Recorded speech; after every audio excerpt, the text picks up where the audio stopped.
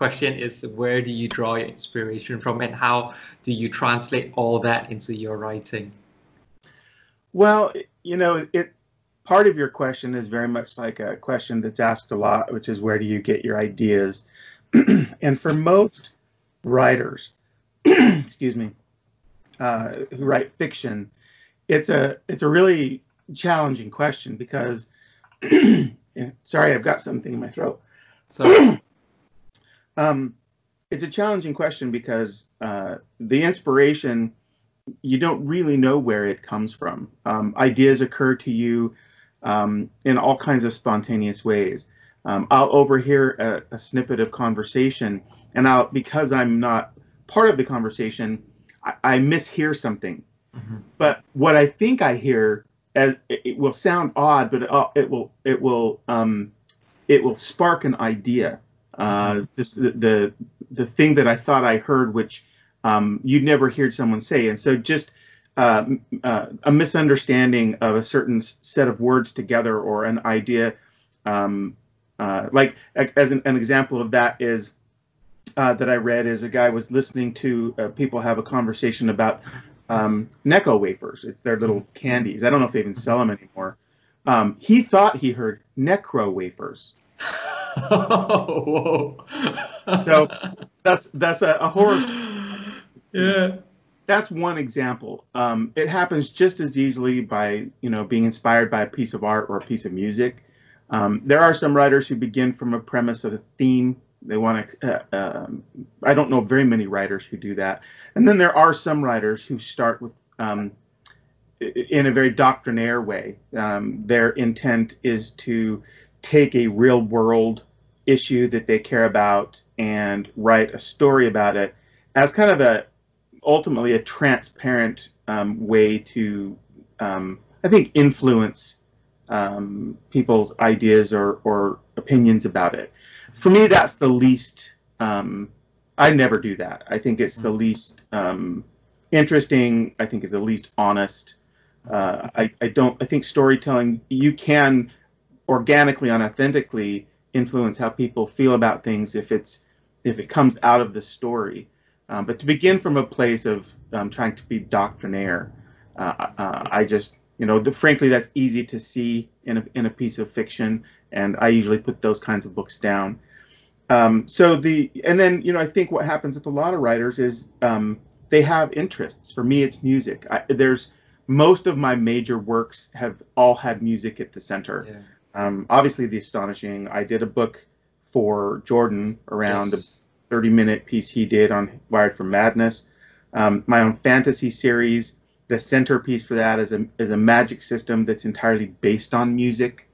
Um, the, the, the series that I'm um, going to co-author with a, a, writer by the name of Brandon Sanderson, uh, he wanted, he chose me to collaborate with him on that because he knows I'm a musician he knows I know the, the sort of metal community. Mm-hmm. And he the idea he had for the main character was a metal singer.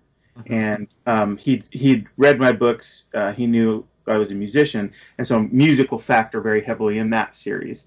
Um, I don't know if it's 100% true with all writers, but I do think that they tend to write about things that they know and care about, um, whether it's uh, basing a character off that or putting them into scenes and situations. Um, you know, obviously there, there's guys like John Grisham who do legal thrillers, and Michael Crichton, who did um, um, medical, you know, science-based uh, fiction. Um, so I think that's just the tendency, and and it works well usually because um, even if a person's a reader's not an expert, they will recognize or feel authenticity in the details. And so if you know a lot about something and you're you're writing from that place of authority, um, it comes out on the page. Um, writers can fake this by doing a lot of research, but it, it never plays quite as well as if it's something that is truly a part of like your own understanding and experience.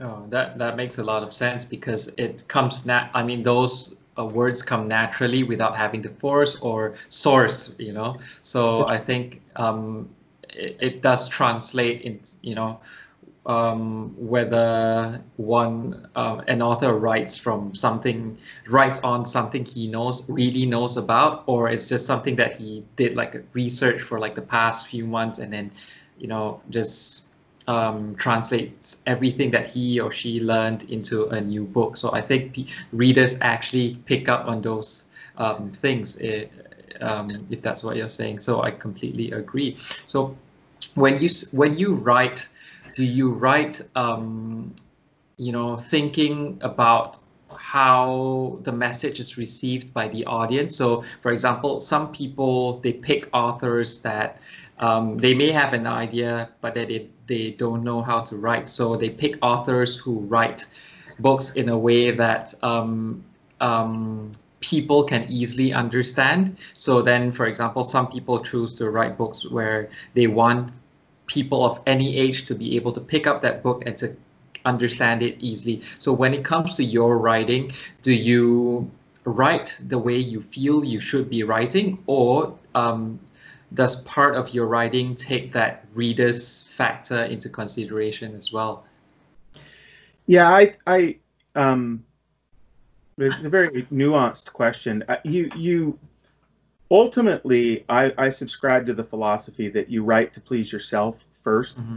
The reason for that is because if you're writing um, specifically to please someone else, you're usually your motivations usually um, somehow skew the work, uh, skew the story, um, and the the truth about stories is that no story is for everybody but be- there is this notion that as a human family, we we have enough shared experiences that if I write something that I'm passionate about and that works for me, there's going to be an audience of people for whom it will also work and resonate.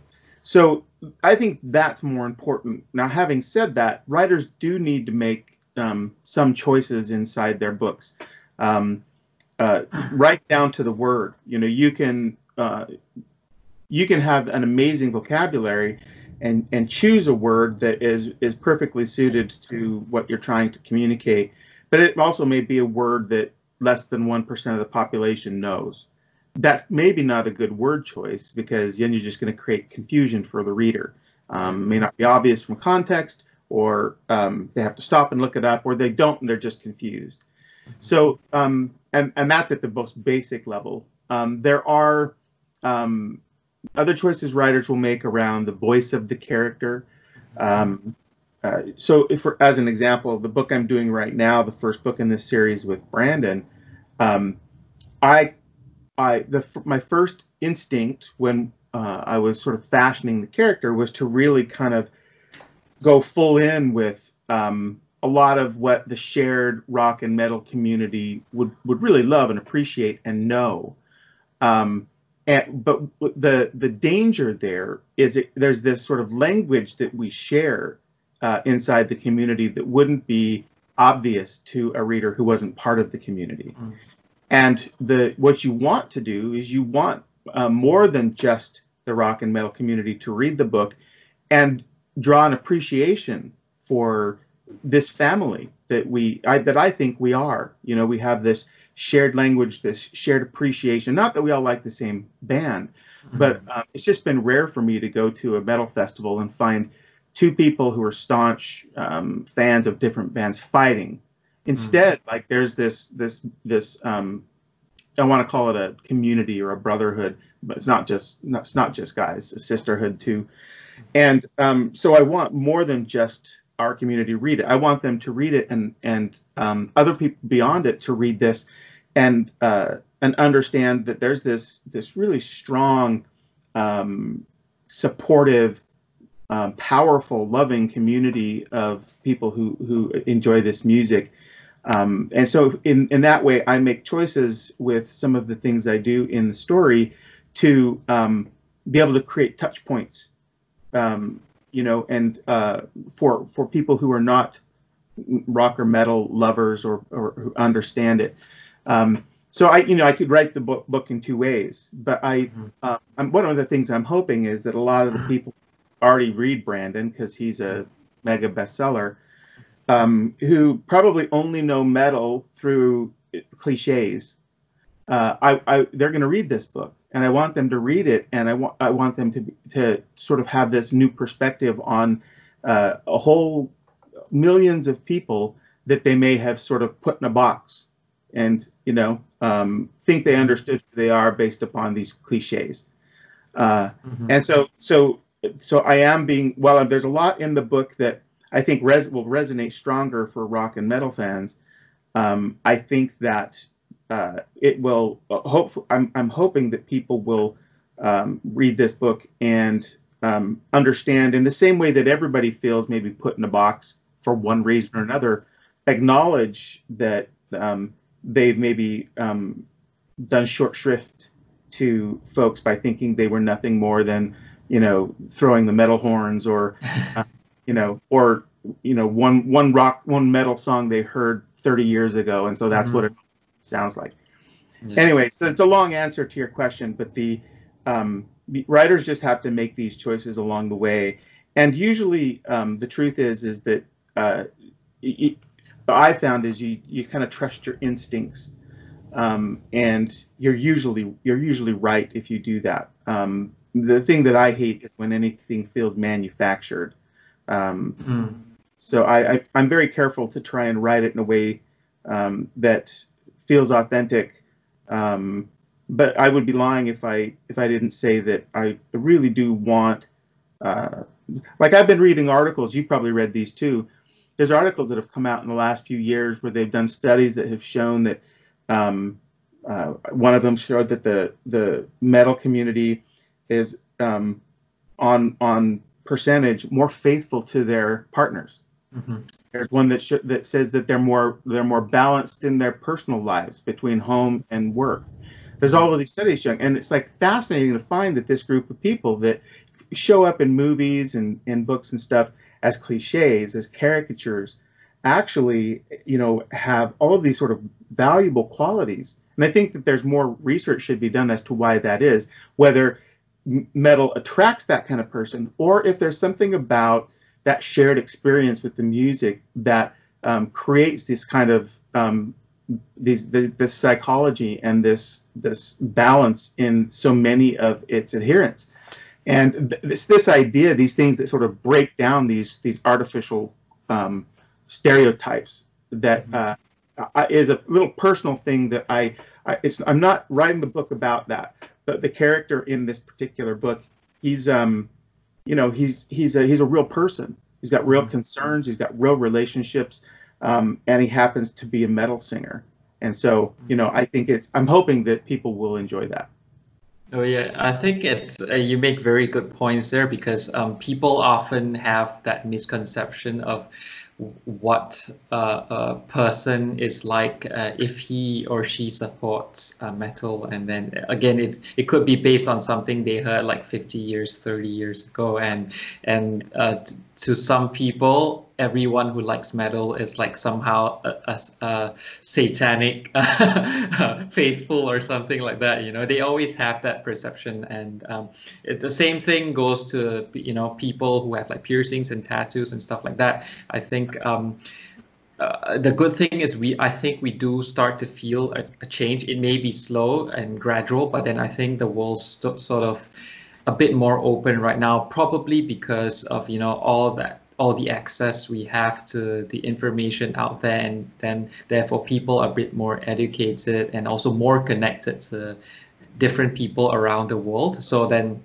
they're not just um, looking at you know a specific group of people from one angle i mean because they've got access to so many other people's perspective on um, a specific group or whatever music or what whatsoever. And i think it partly a lot of uh, what you said is true about metal people being you know um, somehow having certain qualities that are a bit better than the general because i think it could also be due to the fact that um, you know metal metal music in general it often most of the time it's melancholic and it's a very expressive kind of um, music. And it's it's not that it's not out there, but then it's rare to find um, metal music just talking about ass or things like that, which you often find in R and B, which have, uh, I mean, I've got without any without disrespecting any other genres, but then some genres um, often churn out music that have you know not to say none but very little substance or you know so and i think that's kind of rare in metal because it's always about expressing very deep emotions be it uh, positive ones or negative ones and um, I think it has to do a lot with that. It, there's a certain level of, um, I don't know how to put it. I mean, you do feel that it's genuine, if you get what I mean, um, when it comes to metal music. Yeah, you know, the um, I've always I'm always quick to say that that music is so intensely personal, and so it's you, it, you there's no sort of standard of measure by which one style is better than another but I think objectively, one thing that you can say about um, uh, the metal music that is different is just from a sort of sonic perspective. There's a much broader um, vocabulary of intensity uh, uh, to address different kinds of feelings. Um, you know, because on the on the one extreme end, you can hear something excruciatingly heavy, um, whether that for someone that's fast or just a really deep drag beat and they're they're tuned down. But there's there's ways to express anger and frustration and remorse on one level that just creates that you know so much intensity of sound and on the on the far extreme something that's you know nylon string guitar and a, a metal band and everything in between for um, being, you know, up going to a party, something upbeat and just frivolous, something that's um, addressing um, situations in life, uh, you know, the the arrival of a child, um, and, you know, and, and death, and and one of the if you start thinking about many of the genres, they don't avail themselves, uh, or just, maybe it's just the the trappings of those genres. They don't seem to have as many um, um, tools. Um, uh, and as broad a palette to paint with. For I don't, you know, it's just the the nature of some of the genres. Um, but but metal is really sort of interest. It's, it gets so stereotypically confined to a certain sound, but really the the, the musicians paint with such a broad number of brushes.